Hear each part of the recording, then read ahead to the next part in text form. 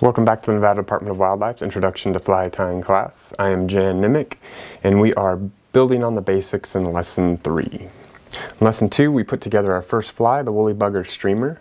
That happens to be, again, a streamer fly or a wet fly that's used to imitate our larger food sources like baitfish, crayfish, and other big food sources underwater. Second up is our nymph, which is also another type of wet fly. This is going to be our next fly we'll put together in lesson four. This is the beadhead hare's ear nymph. Again, another wet fly used to imitate many of the small insects that are found underwater, the aquatic or semi-aquatic insects. Finally, actually in lesson six, we're going to learn the dry fly. So this is the only floating fly out of the bunch that we're learning to tie.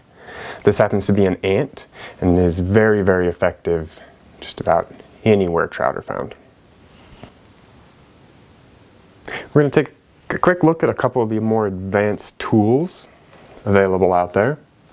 First up is dubbing wax, which we'll use in our next fly, as well as a whip finisher, which is going to tie the final knot to finish the fly. Start with a little thread here.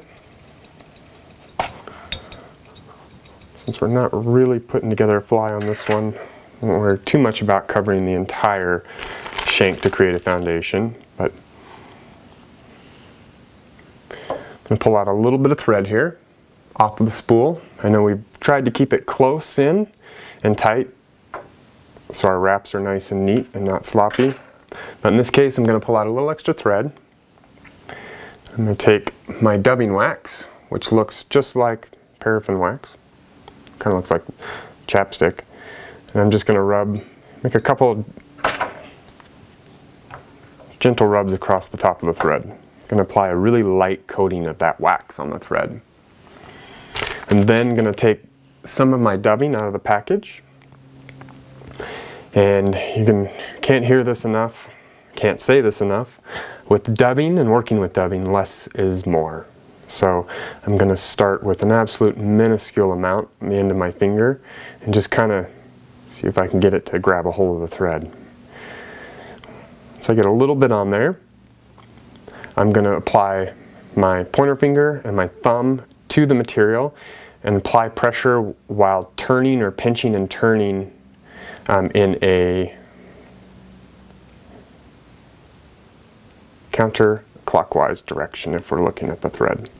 And I'm going to continue to pinch and turn only in that direction until that material looks a lot like our chenille for our woolly bugger body.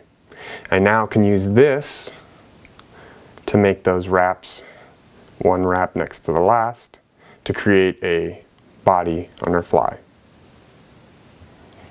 Final tool we'll take a look at is the whip finisher. Whip finisher is about the hardest tool in the arsenal to use, but once you learn how to use it, it is incredibly valuable. Much, much faster, much more accurate than those straws and pins. Okay, to use our whip finisher, I'm going to grasp in my right hand between my pointer finger and my thumb. The tool itself wants to spin, so I'm going to actually grasp the outside as well as that ball there and keep it from wanting to rotate and spin. With it in my right hand, I'm going to pull some of the thread out, giving myself plenty of room to work with.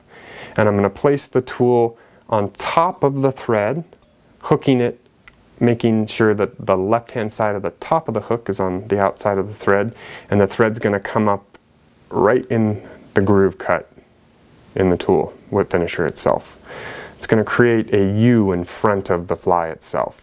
Notice how I'm able to move the thread up and down with the tool. That is the idea or design of the tool. It's made to work with the thread and not against it.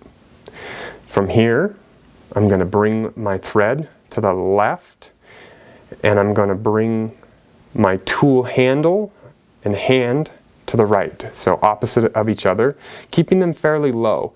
We want to try to keep the thread and the, the handle below the fly as we rotate this around. So we've got our U, thread goes to the left, handle goes to the right. As I move the handle to the right, I'm going to allow it to spin and let go of that rotating part. We now have our X. Again, the thread works with the tool so we can move everything together. I'm going to take that X and I'm going to put it right on the fly. And you can see that X is creating those half hitches. Three, four, five. We want to make anywhere from four to seven, eight, nine turns. Um, the thinner the thread or the narrower the thread or finer diameter the thread, um, typically you can get away with, uh, or you can't get away with as many wraps. But good safe number to go with is seven. From here, again, our tool works together and you can see the thread actually still kind of moves. At this point, I'm going to drive the front or the front hook down to release that loop off of the back.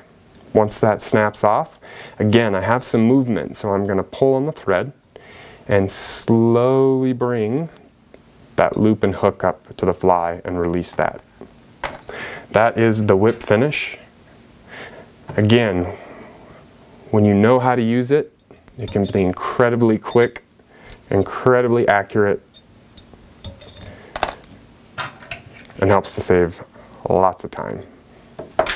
At this point, to finish our fly, we'd add that adhesive to the head.